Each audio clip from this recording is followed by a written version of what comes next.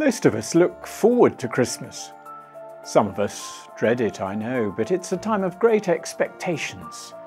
For weeks we get ready food, decorations, presents, cards, planning family reunions. Christmas dominates the weeks leading up to it. But if we're Christians, we have something else to get ready our hearts. The season of Advent teaches us about waiting.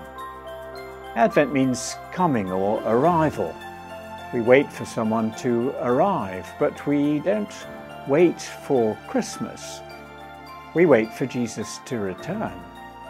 Thinking about Christmas will help us wait well for Jesus' return, to wait with understanding, to wait with hope. I've written a short Advent devotional to help you direct your excitement at Christmas time towards this second coming. Day by day, we'll look afresh at the beauty and riches of Jesus in the first two chapters of Luke's Gospel.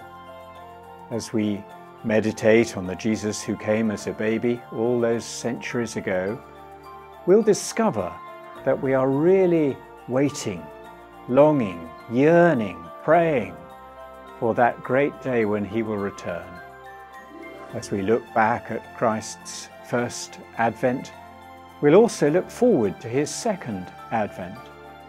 For the Jesus whom Luke reveals to us is the same Jesus who will come back in glory.